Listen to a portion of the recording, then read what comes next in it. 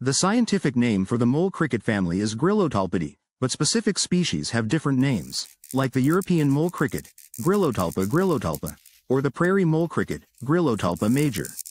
They are burrowing insects in the order Orthoptera, characterized by large, shovel-like forelimbs for digging. Family. Gryllotalpidae. Genus example. Gryllotalpa, e.g., Gryllotalpa gryllotalpa, Gryllotalpa major. Genus example. North America, Neoscapteriscus, e.g., Neoscapteriscus vicinus, tawny mole cricket. The body length is about 4.5 centimeters, females being slightly larger than males.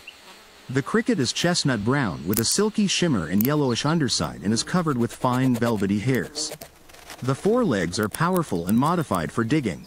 The antennae are long, with well over 30 segments. The elytra are short, and the wings are transparent and netted with veins. They are folded into pleats and seldom used as the cricket normally remains below the ground, but the species can fly, usually at night. The males can be distinguished from the females by the open vein area in the forewing known as the harp, while the females lack the external ovipositor that is possessed by other crickets.